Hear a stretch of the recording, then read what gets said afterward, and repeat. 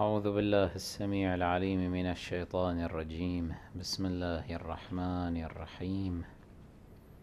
القول مني في جميع الأشياء قول آل محمد عليهم السلام. فيما أسروا وما أعلنوا وفيما بلغني عنهم وفيما لم يبلغني. الحمد لله رب العالمين وصلى الله على خير الخلق أجمعين. سيدنا محمد وأهل بيته الطيبين الطاهرين.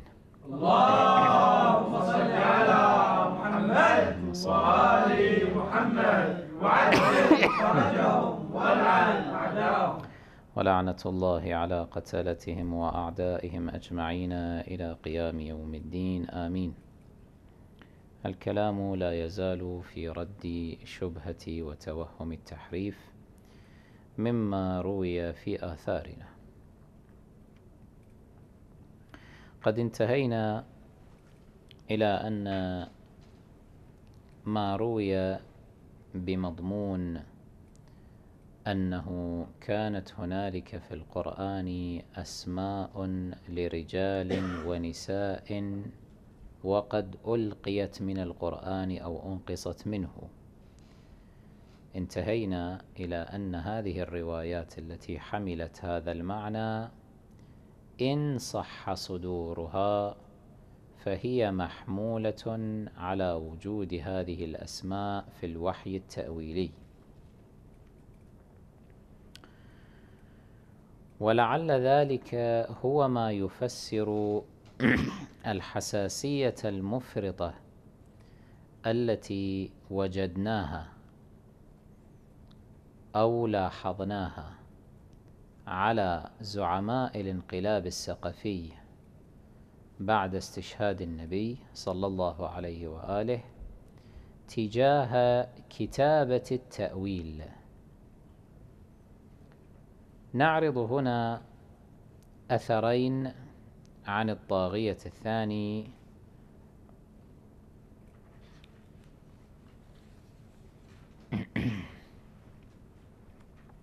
عمر بن الخطاب لعنه الله. الأثر الأول في مصنف ابن أبي شيبة رقم الحديث تسعة وعشرون ألفا وخمسمائة وسبعة عشر.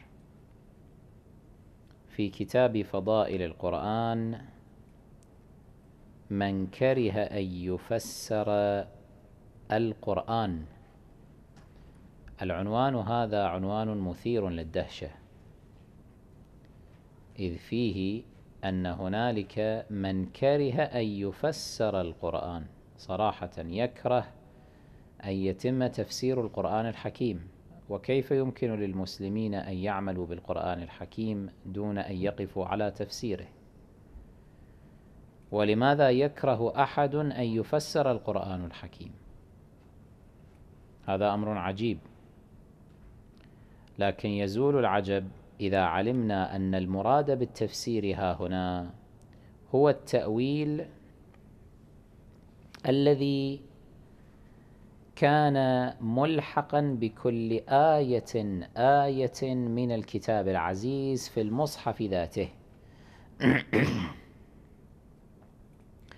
هذا الذي جرت عليه عادة أصحاب النبي صلى الله عليه وآله في زمانه أنهم كانوا يكتبون الآية ويلحقون بها مع شيء من التمييز تفسيرها وتأويلها الذي تلقوه مباشرة من النبي صلى الله عليه وآله.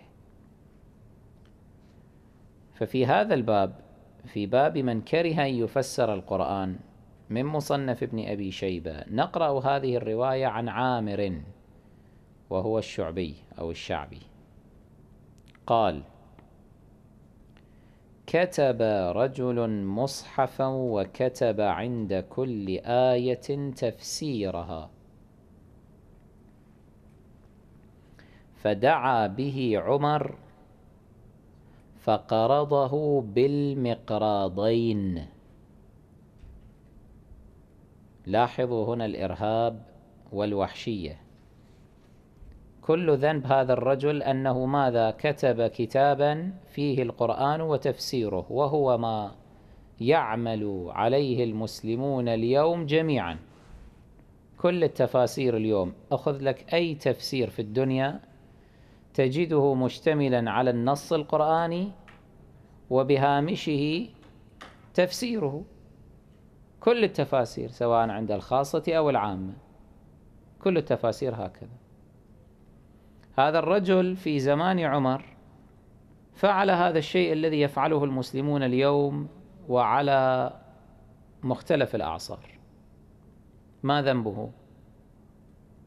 لماذا أمر بأن يؤتى يعتقل ولما جاء إليه قرضه بالمقراضين يعني أخذ مقراضة هذه المقراضة ماكو. هذه يسموها مقراضة يسمونها مقراض يسموها مقراضين أيضا باعتبار أنها ذات جزئين أيضا. اي ياخذ هذا وشنو سوى؟ له قام يقرضه. يشلع جلده. تعذيب يعني عملية تعذيب استمرار تعذيب. شنو جريمة الرجل؟ كتب عند كل آية تأويلها أو تفسيرها. الآن دع عنك أن هذا إجرام واضح مخالف للشرع وهو دليل على ممارسات الحكم العمري اللعين الإرهابي الدكتاتوري القمعي. دع عنك كل هذا. دع عنك ممارسة التعذيب هذه بما لا يحل. فالذي يدهش هو كما قلنا أنه لماذا كان لدى عمر مثل هذه الحساسية المفرطة تجاه تفسير القرآن أو تأويله أو تثبيت تفسير وتأويل كل آية في الصحف في الأوراق. لماذا أراد أن يقطع طريق تفسير وتأويل القرآن؟ الجواب عندنا واضح وهو أنه يخشى أن يفسر القرآن ويؤول على وجهه الذي تلقي من النبي الأكرم صلى الله عليه وآله. لأن هذا الرجل الذي كتب مصحفا وكتب عند كل آية تفسيرها هذا قد عاصر النبي صلى الله عليه وآله على الأغلب. ولا أقل أنه قريب من عصر النبوة يعني هو في زمان عمر. لم يكن قد مضى على رحيل النبي صلى الله عليه وآله إلا بضع سنوات. فمن الطبيعي أنه يكون تفسيره فيما لو دون وثبت ووصلتنا هذه النسخة يكون أصدق من التفاسير التي جاءت بعد عهود أخرى مع قطع النظر عن اتصال الأمة بأهل البيت عليهم الصلاة والسلام. فإن الاتصال بأهل البيت يعطينا صدق التفسير ولو بعد عقود أو قرون. الكلام هو هذا أنه هذا اجتهاد من الرجل الذي لم يسمى في هذه الرواية وكتب عند كل آية تفسيرها نحتمل أن نسبة الخطأ أقل مما كتب بعد إذن من تفسير القرآن مع مع بداية عصر التدوين يعني بعد مئة سنة تقريبا. أقل أكثر. هذه الحساسية التي أبداها عمر دالة على أنه في تأويل القرآن وتفسيره ما يدينه ويدين جماعته الانقلابية. أو يمكن أن يصرف وجوه الأمة عنهم إلى القيادة الشرعية المتمثلة بأهل البيت عليهم الصلاة والسلام. أو يمكن أن يبطل مشروعهم الهدمية للإسلام أو التحريفية للإسلام بإعادة سنن الجاهلية أو اليهود والنصارى والمجوس ونحو ذلك. فلو أخذنا بالروايات التي تقول أنه كان هنالك أسماء للرجال والنساء وقد ألقيت سبعون اسما للرجال وسبعون اسما للنساء بأسمائهم وأسماء آبائهم وعشائرهم. الروايات التي مرت معنا في الدرس السابق. فظاهر الحال أنه ألقيت هذه من التفاسير من كتب التأويل التي كانت ملحقة بالمصاحف على عادة أهل ذلك الزمان.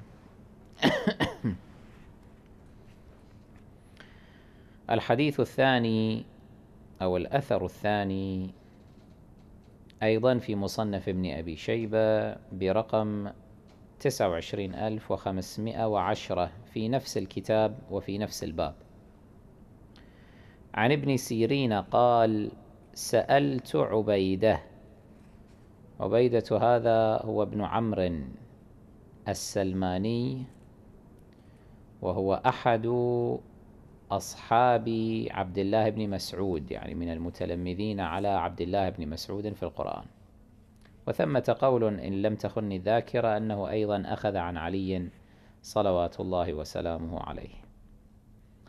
ابن سيرين معروف بعد من أعلامهم هو يقول أنا سألت عبيدة هذا عن آية في كتاب الله. لما يقول سألته عن آية في كتاب الله مفهوم هذا مدلوله أنه سأله عن تفسيرها ومعناها.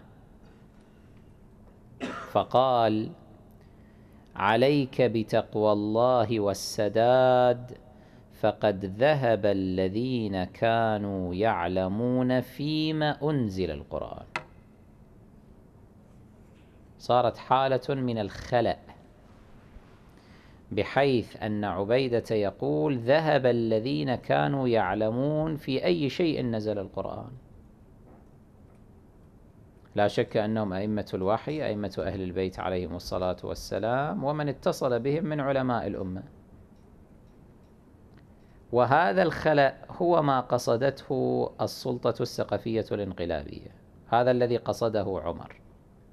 أراد هذا الخلأ حتى يبقى القرآن حمالا لأوجه لا يؤول على وجهه لا يفسر على وجهه لا يعرف ماذا يراد به فكل يتخرص ويحتمل معنى لهذه الآية هكذا وآخر يحتمل معنى آخر فتتضارب المعاني وتختلف التأويلات إلى أن تقع الأمة في الاختلاف والتنازع بما لا يؤدي إلى رجوعها إلى أهل البيت عليهم السلام لكي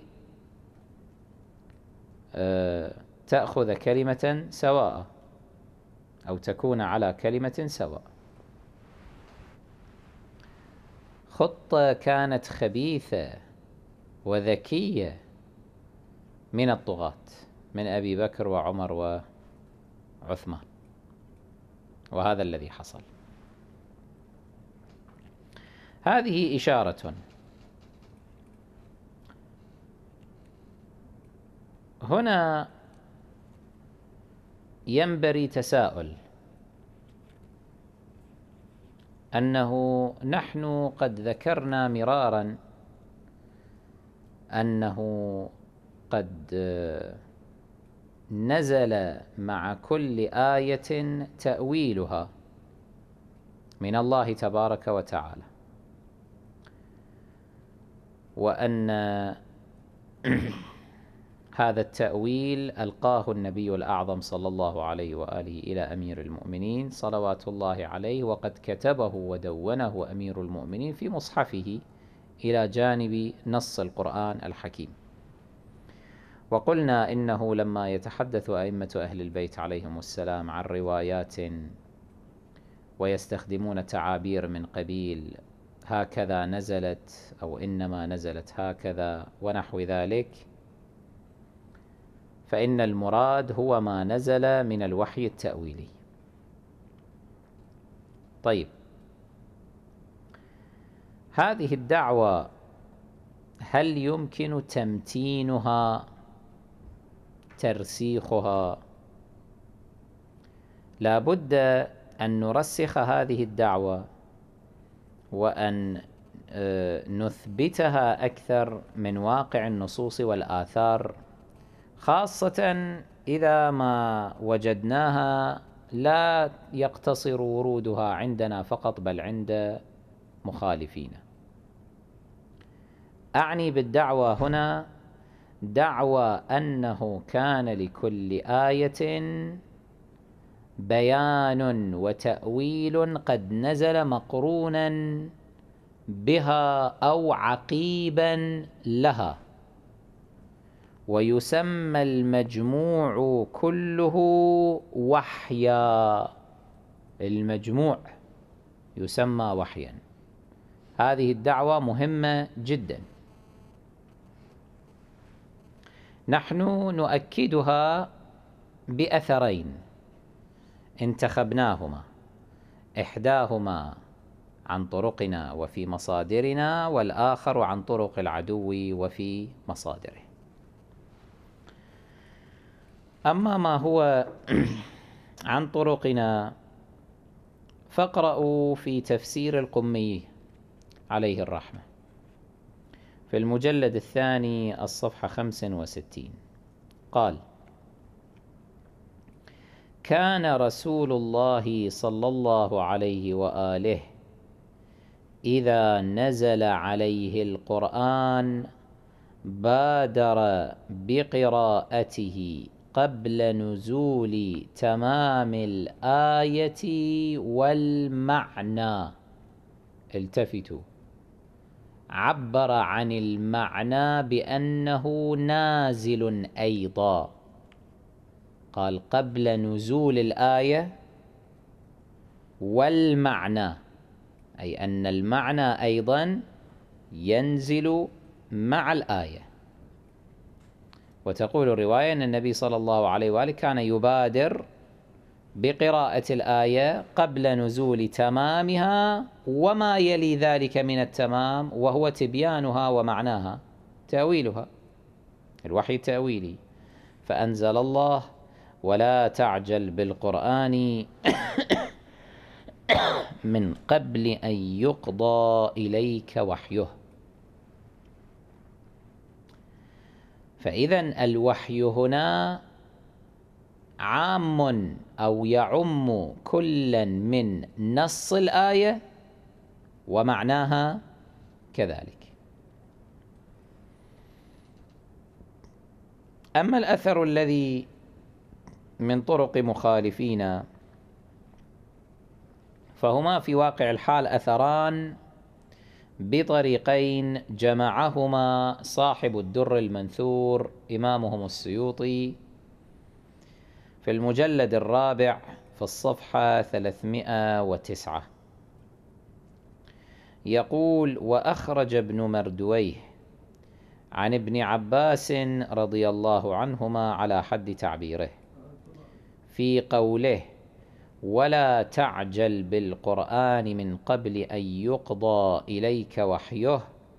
يقول لا تعجل حتى نبينه لك. إذا مفهوم هذه الآية أيضا على هذا التفسير المروي عن ابن عباس في مصادر أهل الخلاف أن التبيان الإلهي للآية وحي. وحي.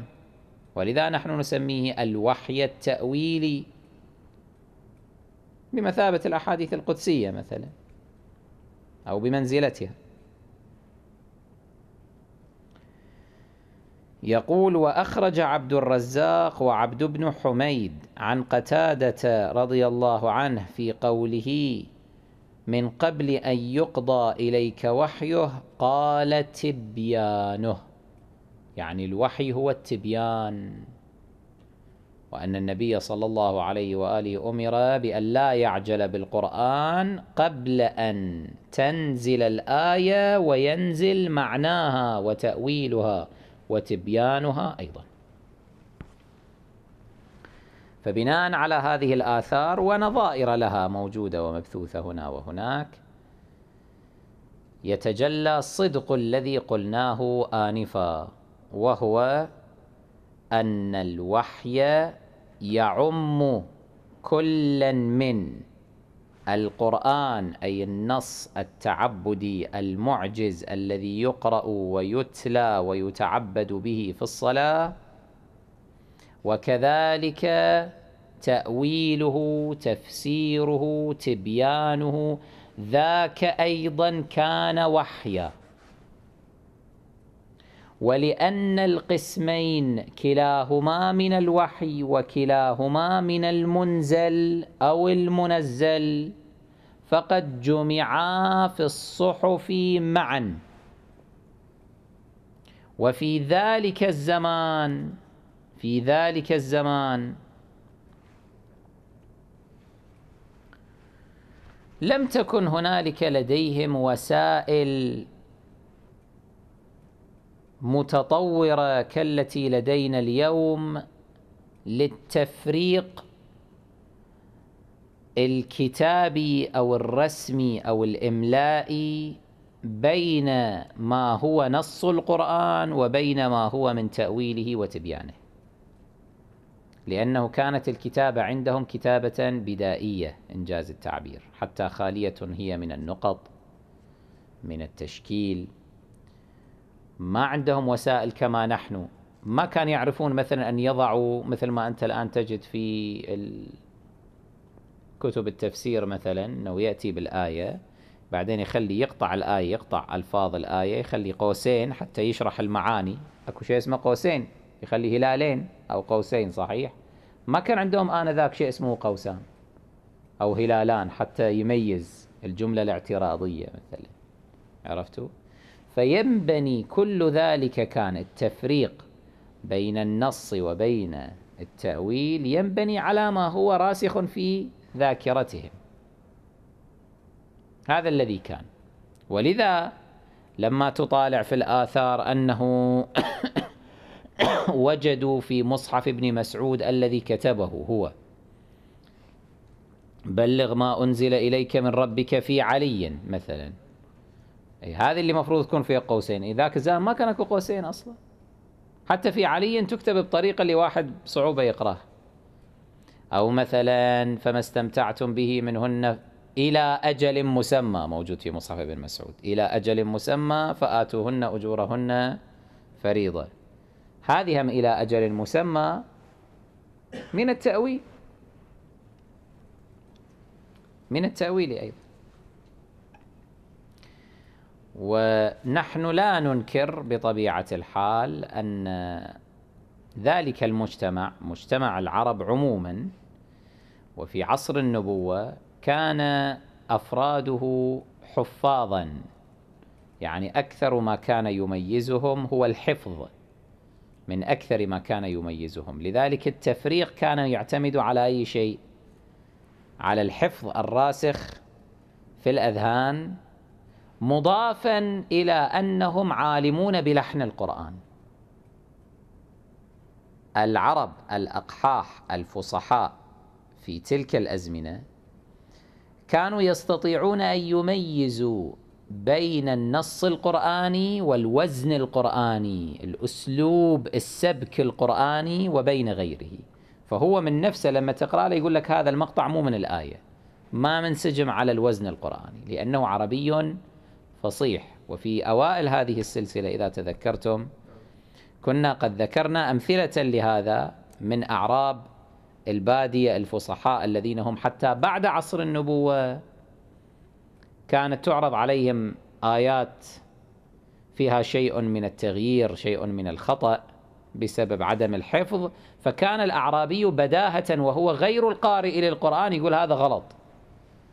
هذا ما يجي هالشكل ما يصير هذا يكون كلام الله. ويراجع ما أذكر منه كان الفرزدق منه كان يراجع يشوف صحيح يشوف الآية على لفظها صحيح وما نطق به الأعرابي وهو الذي لم يقرأ القرآن قط. فهاتان الخصلتان هما اللتان كانتا تمكن هؤلاء من التمييز بين ما كتبوه إن كان هذا من نص القرآن وإن كان هذا من تأويل القرآن. أما وضع تشكيلات أو مثلا خطوط عرضية أو مشاكل يعني هذا لم يكن معهودا آنذاك خاصة أن وسائلهم في الكتابة كانت بدائية الصحف والأقلام كانت عندهم نادرة يكتبون على الجلود وعلى ألحية الشجر ونحو ذلك حتى فقط يمشي أموره. زين. أيضا هنالك شيء آخر وهو أنه وقد ألمعنا إلى ذلك من ذي قبل أنه الاصطلاحات الرائجة اليوم والتي أيضا هي اصطلاحات تمييزية عندنا نحن حينما مثلا الآن نميز بين اصطلاح القرآن وبين اصطلاح التفسير وبين اصطلاح التأويل. شوف عندنا ثلاثة اصطلاحات. الآن لما تعرضها على العلماء أو طلبة العلم أو المشتغلين بعلوم القرآن والحديث يميزون بين هذه الاصطلاحات. شو يقول لك؟ يقول لك القرآن هو هذا اللي في المصحف. والتفسير هو شنو؟ ظاهر المعنى. التأويل شنو؟ باطن المعنى المعنى البعيد الباطن. مو الشكل وأن التفسير لنا والتأويل للمعصوم عليه الصلاة والسلام.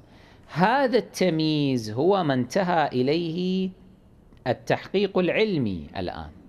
هذه الاصطلاحات بهذه المعاني المميزة إنما هو من ما استقرت عليه أنظار الفقهاء والمفسرين والمتكلمين وطلبة العلم ونحو ذلك. أما لم يكن التمييز فيما بين هذه جميعا لم يكن رائجا في زمان المعاصرين للنبي الأعظم صلى الله عليه وآله بل والمعاصرين للمعصومين صلوات الله عليهم أجمعين. فيمكن أن تجد التفسير تأويلا والعكس بالعكس. ويمكن أن تجد التأويل قرآنا أيضا كما قلنا أنه إلى الآن من خلال هذه الآثار على الأقل ثبت أنه يسمى التأويل أيضا وحيا ونحن نطلق عليه في اصطلاحنا أي شيء الوحي التأويلي. في ذلك الزمان لأن الكل نازل من الله عز وجل فكانوا أيضا يسمون تأويل القرآن قرآنا. كانوا أيضا يسمونه أي شيء؟ قرآنا أيضا.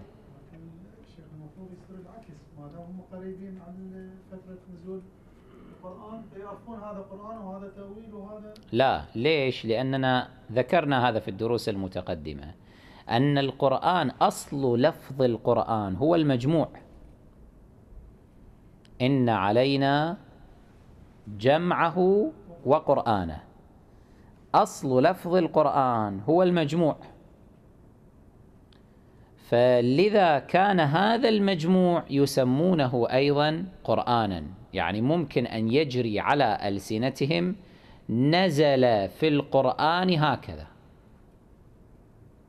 ممكن. يعني هو إذا التأويل أيضا نازل مع القرآن. نعم نازل مع القرآن. يعني ممكن يكون هو قرآن يعني. لا لا يكون القرآن الذي هو محل البحث الآن. محل البحث الآن هو ما نسميه التنزيل لا التأويل لكن مر علينا سابقا أنه حتى كلمة التنزيل كانت تسمى ماذا؟ تأويلا. نص الإمام الكاظم عليه السلام يقول له تنزيل يقول نعم ذا تأويل. تنزيل تأويل. ليش أقول إحنا الخبط كله الخلط صار من اختلاط هذه الاصطلاحات والمعاني فيما مضى. وإلا كان ما يقرؤونه تعبدا ما يرتلونه ما يجودونه. إن كان هنالك تجويد في ذلك الزمان. زين؟ ما يتعبدون به. كان هو النص المعجز المحفوظ الموجود الآن بين الدفتين. أنتم تتذكرون ما اقتبسناه من كلام شيخنا المفيد عليه الرحمة والرضوان في أوائل المقالات حين ذكر أنه ما كان مثبتا في مصحف أمير المؤمنين عليه السلام إنما كان بالإضافة إلى النص القرآني التأويل وتفسير المعاني. واستشهدنا بهذا لرد مقالة أن المصحف الموجود عند أمير المؤمنين عليه السلام والذي ورثه إلى أبنائه الأئمة الطاهرين عليهم السلام وهو الموجود عند مولانا صاحب الأمر عليه السلام وحين يظهر سوف يظهره للناس وسوف يتلقاه جماعة من الشيعة وتضرب لهم الفساطيط في مسجد الكوفة ليعلمون الناس هذا القرآن وحينئذ الناس سيندهشون إلى ما هنالك. قلنا في معرض جوابنا وردنا لتوهم أنه هذا القرآن يختلف عن قرآننا قلنا لا هذا لا يختلف وإنما مزيته ذلك المصحف أنه مزيتان. ترتيبه على أسبقية النزول والثاني أي شيء؟ وجود التأويل الوحي التأويلي فيه المدرج فيه بحيث لا يختلف اثنان على تفسير القرآن وتأويله. إحنا لما استشهدنا بكلام الشيخ المفيد جينا بهذا المقطع من كتابه أوائل المقالات في المذاهب المختارات الصفحة 91 يقول ولكن حذف الشيء الذي حذف والروايات التي تتحدث على أنه حذف من القرآن كذا أو من التنزيل كذا أو هكذا نزلت ولكن حذفوها أنقصوها بدلوها غيروها. يقول هذا المحذوف هو من هذا القسم. يقول ولكن حذف ما كان مثبتا في مصحف أمير المؤمنين عليه السلام من تأويله وتفسير معانيه. على حقيقة تنزيله وذلك كان ثابتا منزلا وإن لم يكن من جملة كلام الله تعالى الذي هو القرآن المعجز.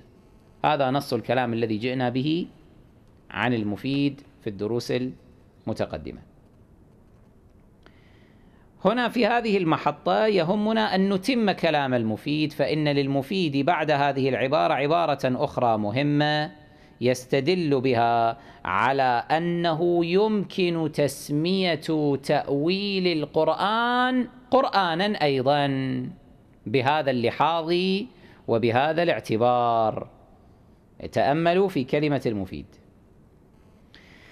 يقول وقد يسمى تأويل القرآن قرانا قال الله تعالى ولا تعجل بالقرآن من قبل أن يقضى إليك وحيه وقل رب زدني علما فسمى تأويل القرآن قرآنا.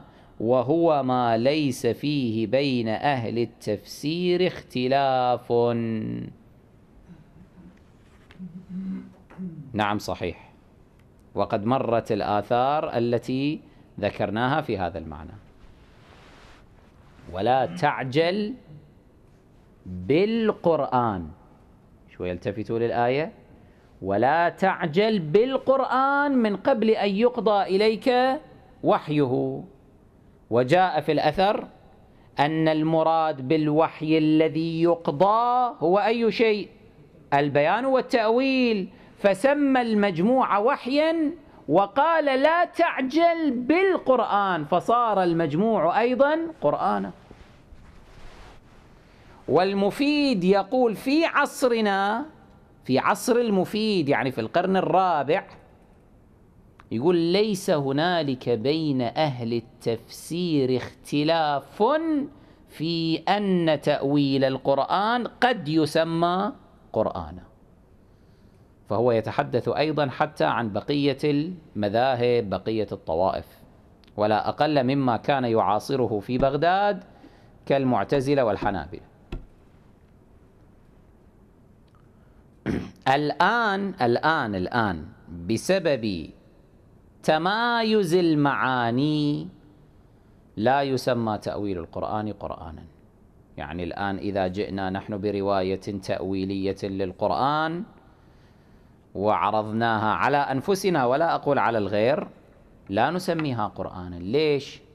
لأنه قد وقع هذا الفرز الدقي في الاصطلاحات والألفاظ. نعم؟ مع تطور الحركة العلمية. شيء. فشيء ممكن اي فليكن إيه ما قلنا ما, ما ليس هنالك مانع.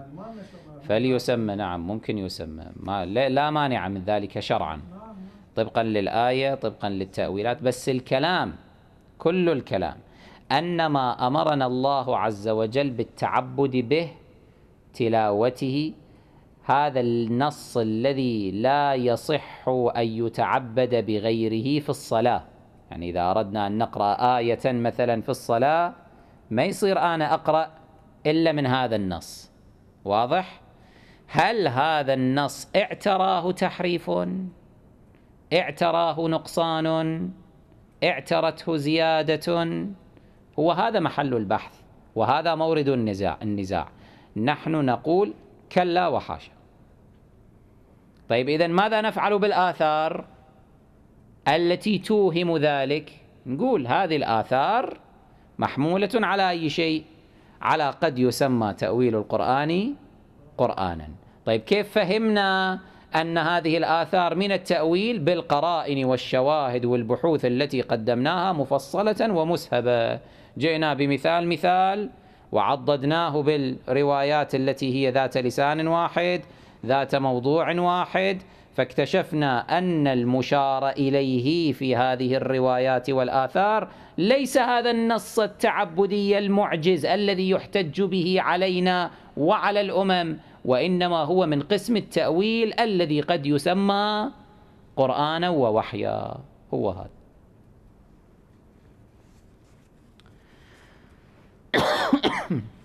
طيب.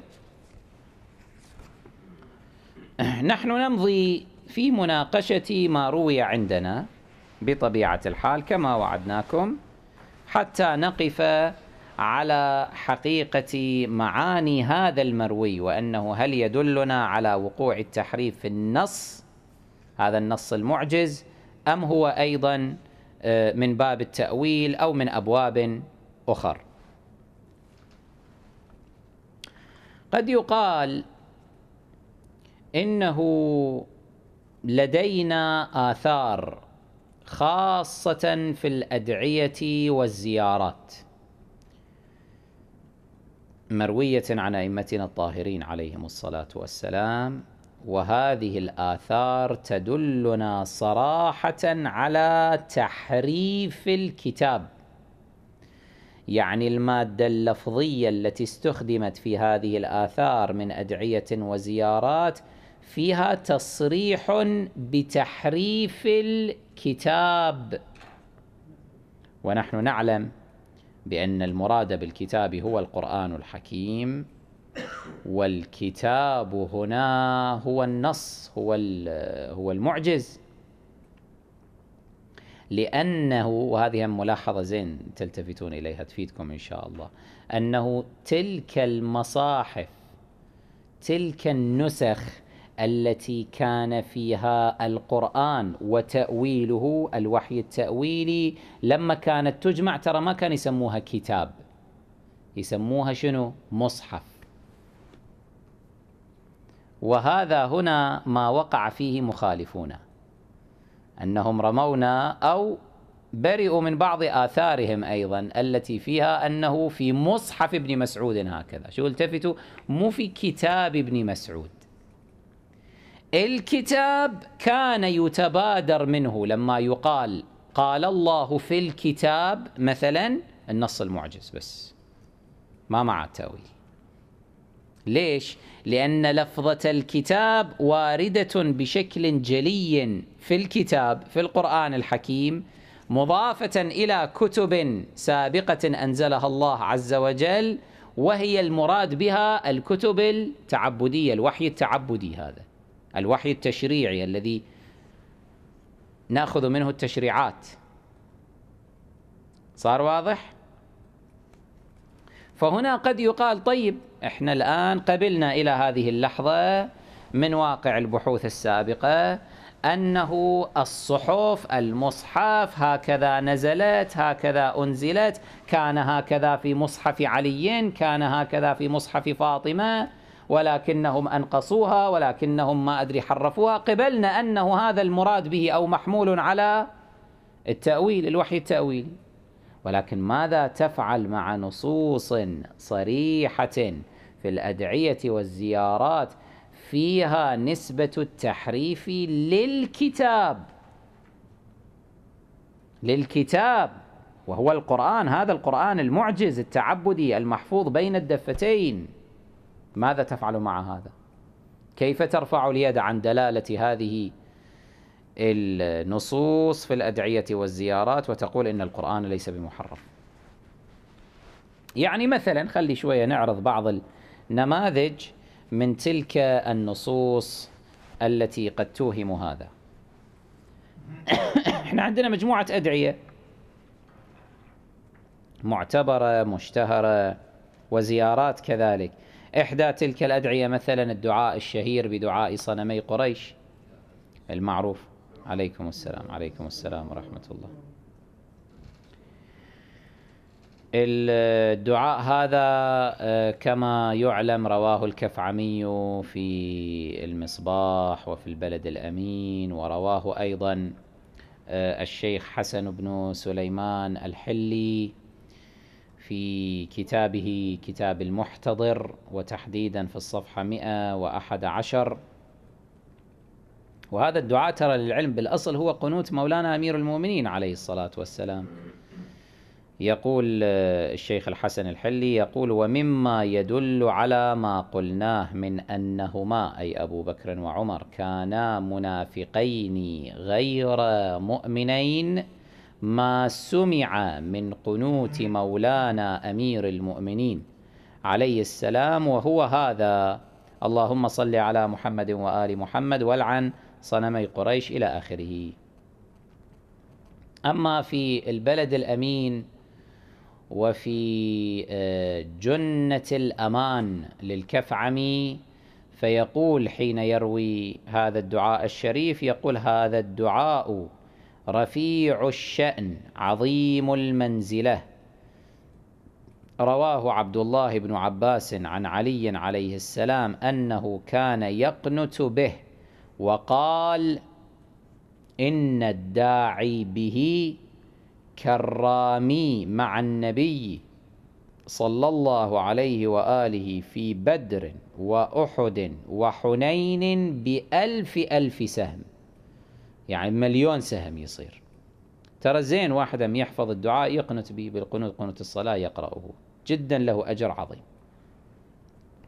وعلى ما وبالي إي أنا متأكد من هذا الشيء أنه السيد المرجع حفظه الله آه، في تعليقه على الشرائع آه، يذكر هناك أنه يعني يستقرب أنه آه، أعظم القنوتات اجرا هو قنوت دعاء صنمي قريش. راجعوا إن شاء الله تجدوه هناك. زين. ماذا جاء في هذا الدعاء الآن؟ مما قد يستدل به على التحريف. اللهم لعن صنمي قريش وجبتيها وطاغوتيها وإفكيها وابنتيهما اللذين خالفا أمرك وأنكرا وحيك وجحدا إنعامك وعصيا رسولك وقلبا دينك وحرفا كتابك. بعد واضح. إلى أن يستمر إلى أن يمضي فيقول اللهم لعنهما بكل آية حرفوها. بعد هذا ماكو أوضح منه. هنالك أيضا دعاء آخر هو المعروف بدعاء اللعن عقيب الصلوات للإمام علي بن موسى الرضا عليهما الصلاة والسلام. هذا الدعاء أيضا آه، يرويه الكفعمي في في المصباح بعدما روى دعاء صنمي قريش مباشرة وتحديدا في الصفحة 553 يقول قلت ومما يناسب وضعه بعد هذا الدعاء ما ذكره ابن طاووس رحمه الله في مهجه في مهج الدعوات موجود طبعا للسيد ابن طاووس رحمه الله عن الرضا عليه السلام وإن من دعا به في سجدة الشكر هذه ماكو سجدة الشكر المستحبة بعد الصلوات؟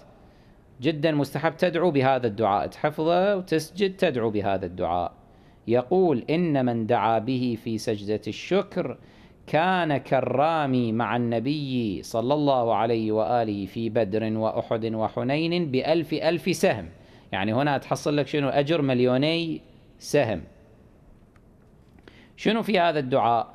اللهم لعن اللذين بدلا دينك وغيرا نعمتك واتهما رسولك وخالفا ملتك وصدا عن سبيلك وكفرا آلاءك وردا عليك كلامك واستهزأ برسولك وقتلا ابن نبيك وحرفا كتابك.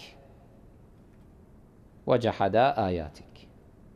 أيضا هنا لفظ صريح في نسبة التحريف للكتاب. لا إلى وقوع تحريف في آية أو عبارة مذكورة في مصحف علي أو مسبوقة بقوله عليه السلام كان في التنزيل هكذا أو إنما نزلت هكذا بحيث نقول إن هذه الاصطلاحات الرائجة ما كانت مميزة، لا هنا الكتاب بما هو كتاب. وهذا منصرف. اولا وأخيرا إلى كتاب القرآن يعني الكتاب المعجز الذي نزل من لدن العليم الخبير وهو الذي نتعبد به. ولا يستقيم هذا مع مع دعوى أنه محفوظ من التحريف إذ تصادمه العبارة الصريحة في أنهما أي الطاغيتان أبو بكر وعمر لعنهما الله قد حرفا كتابك. وأيضا المقطع الذي يقول اللهم لعنهما بكل آية حرفوها. فما هو الجواب؟ الجواب ما هو؟ لأنه الوقت قد أدركنا فلا بد أن نرجع الجواب إلى الدرس المقبل إن شاء الله تعالى. وحينئذ سيظهر أنه هذا ليس من التحريف المدعى في شيء. هذا وصلى الله على سيدنا محمد وأهل بيته الطيبين الطاهرين. اللهم صل على محمد وآل محمد وعجل فرجهم والعن أعداءهم